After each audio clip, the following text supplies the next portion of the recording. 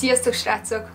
A mai részben egy burgonya főzeléket fogunk főzni 1000 forintból.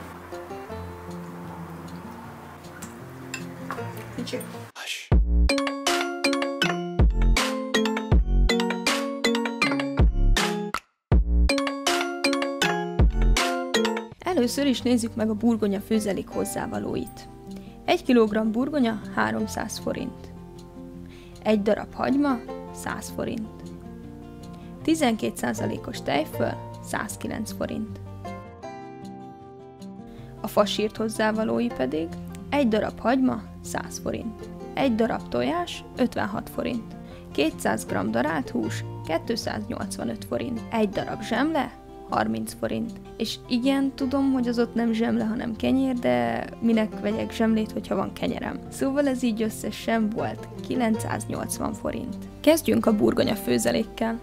Először is a burgonyát megtisztítom, megpucolom, és felkarikázom. Minél vékonyabbra karikázzuk, annál hamarabb át fog főni, és hamarabb túl leszünk a főzésen. Lábosba helyezem, majd sózom, babérlevelet adok hozzá, borsozom, és tűzre vele. Ha van otthon húsleves kockád, akkor add hozzá nyugodtan azt is, mert az csak jót fog vele tenni. Természetesen mielőtt még alágyújtanék, azért öntök rá vizet, nem bolondultam meg.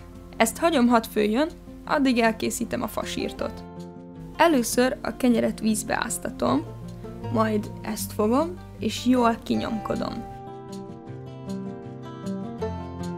Hozzáadom a darált húsomat, sózom, borsozom, adok hozzá egy kis fokhagyma granulátumot is, petrezselymet is, mert nagyon szeretem, hozzáadom a tojást, darabolok bele viszonylag finomra egy vörös hagymát, és reszelek hozzá répát is, hogy egy kicsit feldobja az egészet. Ezt azért nem számoltam bele az egészbe, mert elengedhető hozzávaló. Hogyha nem akar összeállni, akkor adj hozzá egy kis kenyérmorzsát, az majd segít. Ha jól formázható, akkor szuper vagy. A sütés előtti lépés az, hogy gombócozod, majd átforgatod kenyérmorzsában. És ennyi. Már csak sütni kell. Ha ezzel megvagyunk, pillancsunk vissza a főzelékünkre. Adjunk ehhez is viszonylag finomra vágott vörös agymát amitől természetesen mi nem sírunk. Nem sírunk. Készítsünk világos, zsemleszínű rántást, ami igazából olajból meg lisztből áll. Hogyha ez megvan, jól elkevergetted, akkor hagyd egy kicsit kihűlni, és akkor nem fog összecsomósodni, amikor a forró főzelékethez adod.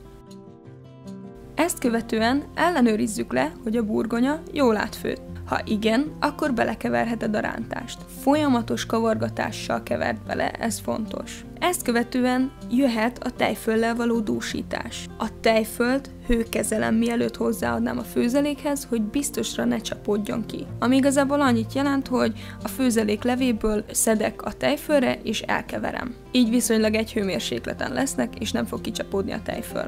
Hogyha mindennel megvagyunk, akkor már csak a kóstolás van hátra. Nézzük csak. Azt a mindenit. Gyű, ez tök finom lett. Azt a, ez az.